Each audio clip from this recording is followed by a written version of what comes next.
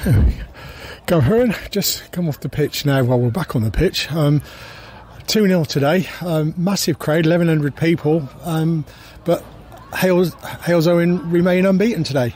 Yeah, and uh, well, they deserve it. They took their two chances, and uh, and, and, and, fair play to them. I, I just felt from the start, um, or collectively over, over the game. I know it's a bit raw, and I'll have to watch it back, but we just weren't at the races, were we, Stu? Um, our off the ball shape first half, I thought was good. Again, like you say, you limit them to, to very little. Um, and when we got possession, we were just not good enough. Even the five yard pass or the, the cross, we, we just wasn't good enough in possession. And um, credit to Halesowen, I thought they came out a lot better second half. They were the better team, but again, not much create. There wasn't there wasn't much at our goal, uh, but when they did get their chance, they shot and took it. So um, it's a tough one to take because, like you say, I know we can play so much better than what we've shown today in front of all these people, and um, we've just got to dust ourselves off, regroup, and uh, go again.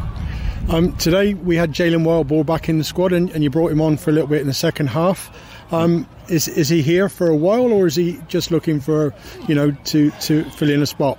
Yeah, J- Jalen signed up. Obviously, um, he was with us last year, um, but we've, look, we've, we've missed Callum today, and we're not a one-man team. But Callum is such a an important player for us in how we play and what he brings to the team, and it just shows again when he's not playing, we're, we're not at, we're not as good, and the players that are, are stepping in that want to take a shirt have to play better than what we've shown today, and um, I'm just gutted in the sense of again what we talk about when you lose a game of football it's the way you lose. And um, today we, I felt we lost in the wrong way because I think we only had two shots ourselves. I think only Halesowen had two shots but it just wasn't a, a, it wasn't very good. And from how well we've been creating stuff and, and playing um, it was a big disappointment. But again um, I know we had a good following of fans and it, it's disappointing for them to go away with like you say not the best of performances. Um, but we've got to go work hard next week in training, make sure we're ready for Nuneaton.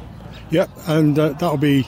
Uh, uh it's always a, an interesting game with Nuneaton, isn't it? Because it'll be it will be a local derby. There will be lots of people at the Arden garages next Saturday, and and and it'll be a good game of football. Of course, and, and these next three like three games we had Halesowen, Nuneaton, Telford away. I've, every game's an exciting match for uh, to be involved in in this league. I think it's a fantastic league. Um, and, and, and, and we've just got to keep performing. And, and today, we've got, we've got to make sure we don't uh, perform the way we did. It felt it felt a little bit like a Barwell performance, if I'm being really honest.